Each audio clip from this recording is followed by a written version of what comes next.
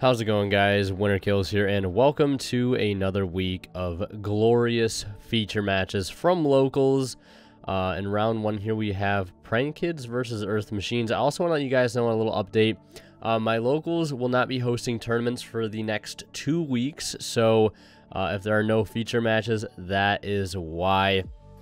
Um, so yeah, I just want to let you guys know uh, about that in advance. And uh, I, it's really funny that I just talked right over that uh, very clutch called by the grave right there on that Prank Kids uh, Rocksies. Very, very unfortunate. But yeah, as you can see, we have Prank Kids versus Earth Machine here. Uh, my good friend Adam actually piloting uh, the Earth Machine deck this time around. And uh, getting sacked seemingly right off the bat here already. And I believe our Prank Kids player also rolled a 12 uh, he is absolutely unstoppable.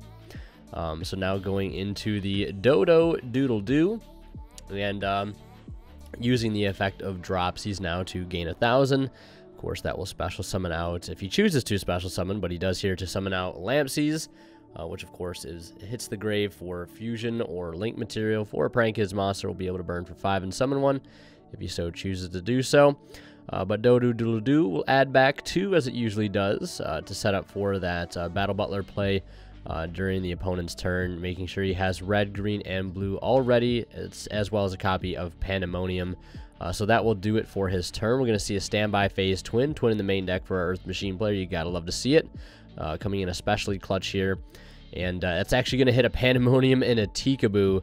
Um, yeah, I mean, after something like that, you got to be feeling like you're on cloud nine.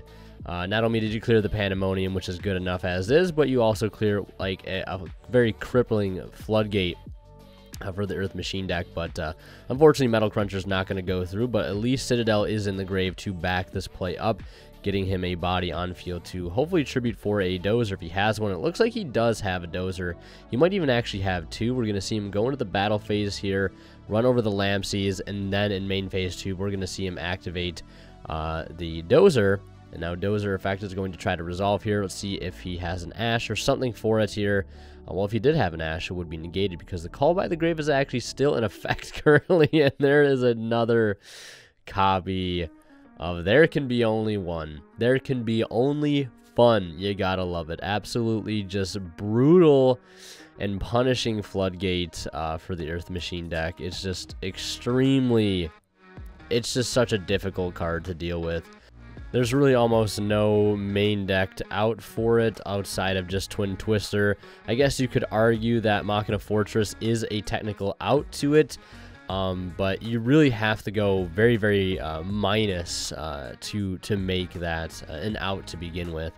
Um, like you have to find a monster to crash it in uh, to first of all, and then hope the uh, pop effect goes through. Um, yeah, it's just not a good position to be in here after such a uh, this the, start of this game was such a back and forth. We saw the Ash, we saw called by, we saw Twin hitting uh, Prank or uh, Pandemonium and a Tisibu, and then we saw Strike, and then we saw another. There can be only. Um, very very unfortunate, but um, we're to see Pandemonium get activated now. Going to, looks like he was to fuse off with that drops. He's there, but maybe having second, thought, second thoughts here.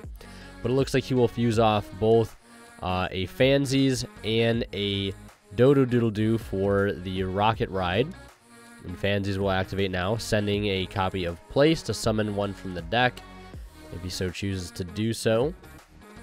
I believe on field he has an Aqua, uh, I'm actually not sure the type of Rocket Ride. I would assume it's probably Machine or something. Um, but we're going to see Rocket Ride tag out now to Reborn 2. And it looks like it's going to be Dodo Doodle Doo and the Fansies. And now we're going to see him not tag out for Fansies, but tag out for Rocksies instead. Because um, I believe those might both might have been Thunder. Uh, and then we'll see Dodo Doodle Doo activate, sending itself to recur two back to the hand. Now linking off Rocksies and Dropsy's for the Bow Wow Bark. Activating Place now, or Pranks rather, uh, which is basically just going to be a nice little resource um, recursion card here in the end phase. Shuffling back three Prank Kids cards in the end phase. Uh, to draw one. Shuffling back a Bow Bark and two other kids, our Earth Machine player is going to draw for turn and then immediately put that Dozer into attack position, probably trying to crash his Dozer into the Bow Bark uh, because it is currently 100 attack higher than Dozer. Dozer sitting at 19, Bow at 2k. Um, again, because the only way he can really play through this TC Boo is to clear the Dozer to either make room for the Fortress or to make room for that Citadel to come back out. Um, but Bow Wow Bark is going to tag uh, out to add back two. Again, uh, making it so it's not he's not going to be able to crash here. Um, you know, keep that one Earth Machine monster on the field as long as he possibly can, but he's going to activate Pandemonium, and Pandemonium is going to bring out a copy of Weather Washer, um, which is actually pretty crazy. Um, not really right now, um, but Weather Washer's effect that says if your Prank Kids monsters attacks, your opponent can activate cards or effects until the end of the damage step um, which is actually pretty crazy. So if he were to say to run over uh, one of his opponent's monsters with the Weather Washer, uh, Citadel would not get to trigger, I believe, because of that continuous like effect coming from Weather Washer, which is pretty crazy. Now he is going to try to crash again into Weather Washer because it is 2k, just 100 higher than the Dozer, but he's going to tag out into two more pranks. And I believe they also cannot be destroyed by battle. Uh, yeah, special summon two Prank Kids monsters with different names, non-fusion. Uh, special summon them, they can't be destroyed by battle this turn. So, um, our Earth Machines players' uh, attempts here uh, to try to play under this Tikaboo uh, really just not uh, getting anywhere, unfortunately. A lot of tag out effects and a whole lot of nothing uh, getting done here, unfortunately. So our Prank Kids player is just going to link that Fansies into Meow Mew and probably looking for a way to close out game here. His opponent is only at 7,000 um, and really, again, doesn't have too much to worry about here. So he's going to go ahead and activate, I believe, Dropsies and Fansies, or uh, Lampsies, rather. So he's going to burn his opponent again for another 500, and he'll gain another 1,000. Um, I've always thought this uh, as prank kids, like, they're actually on paper, they just seem like one of the most broken engines actually like ever created in Yu-Gi-Oh! Obviously, it is very fragile in some instances. An Ash on that first prank, or a Solemn Strike on the first Link monster, or as something as simple as a standby phase, Twin or Cosmic to hit that Pandemonium. But what I really want think that is busted about it is just the actual Prank Kids monsters themselves, the ones in the main deck. Um, their effects are just crazy. There's literally almost no downside. You get a Foolish Burial. You're burning your opponent constantly. You know, our Earth Machine player is already down 1,500, and our Prank Kids player is up over 10,000 life points, which gives them a ton of room to play in terms of activating counter traps like Solemn Strike, Judgment, or paying for something like Red Reboot.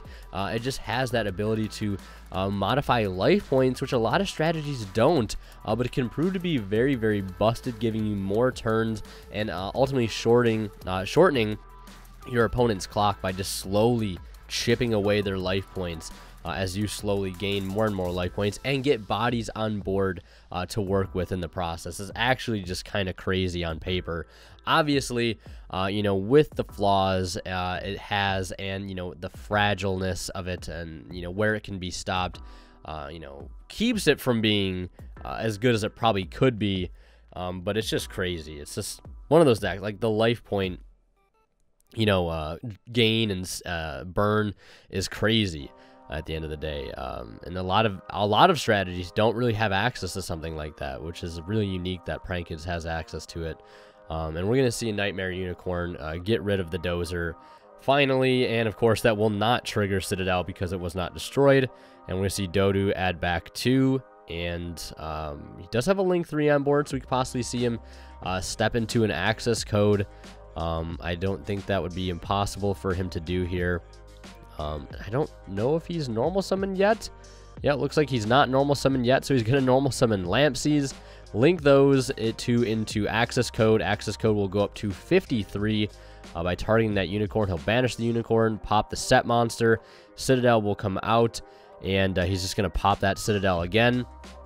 And that's going to be 5,300, uh, dropping him down to 12. Still a Tikaboo on the field. Still setting one which we know to be Pandemonium. Uh, and yeah, that's going to go ahead and do it for uh, that game one there. Uh, very demanding win on behalf of Prankids there. Uh, you know, Earth Machine really can't do much under. There can be only one, which is unfortunate. He did have the twin two, which just adds salt in the wound, unfortunately.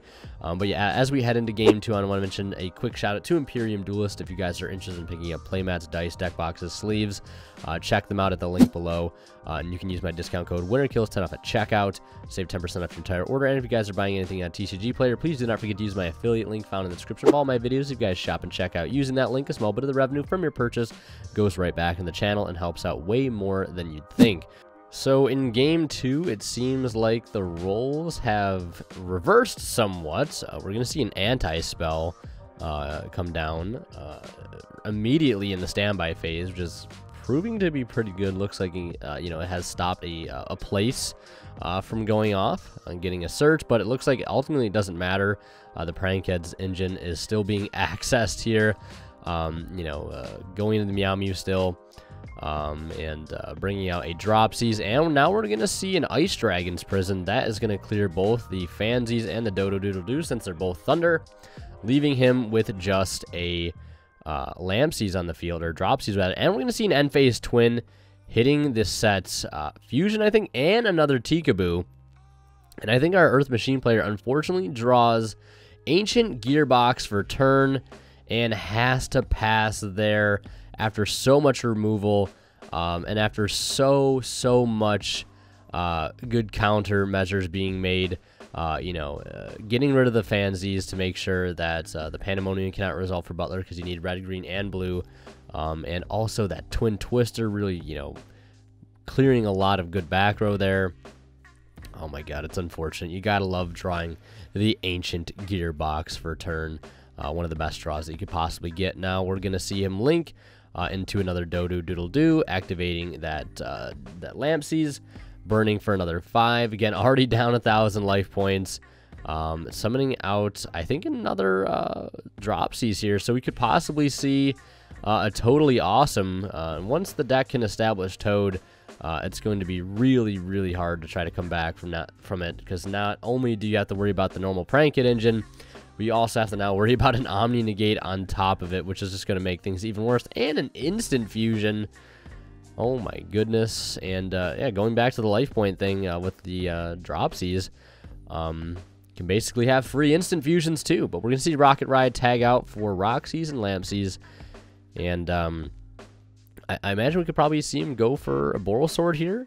Because um, I don't think he's used Pandemonium, which has locked him into uh, Prankids, but he's just going to go for Unicorn instead. That's going to attempt to clear probably the anti-spell, and then we'll see an access code uh, plus, you know, access code plus the Toad. Uh, and the burn damage he's already taken is going to prove to be game. So Prankids taking that match 2-0. Uh, game 1 was definitely a blowout. Had a second copy of Tikaboo and the call by for the Ash. Um, a little bit of a sack, but you know, that's how Yu-Gi-Oh! is sometimes. Then game 2, just an unfortunate top deck. No engine cards, no starters seen. Uh, you really do hate to see it. Uh, it is one of the downfalls of the Earth Machine deck.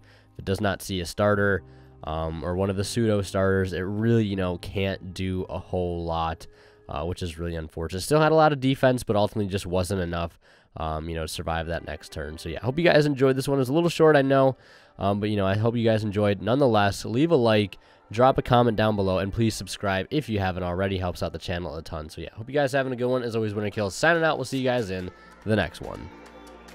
And last but not least, a huge shout out goes to all the YouTube members supporting this channel, and a special thanks, of course, to our Divine Level channel members. And our Divine Level channel member currently is Cadillacs84. Thank you, man, so much for your continued and very generous support of the channel.